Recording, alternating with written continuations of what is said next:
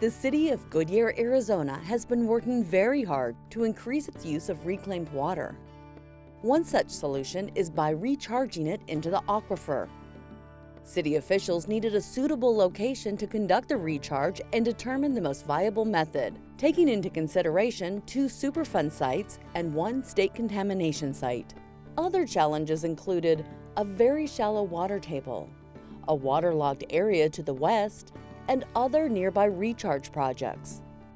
The answer? Precision water injection using Vadose zone wells. In partnership with the EPA, Superfund responsible parties, and the state of Arizona, the city of Goodyear evaluated the use of these wells for underground storage of reclaimed water and assisting with the remediation activities. The city and its partners agreed on the location and the unique design of the wells, which operate independently to capture real-time data and make real-time adjustments.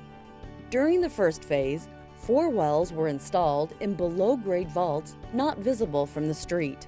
At completion, 15 wells will inject 8,300 acre-feet a year of reclaimed water into the aquifer.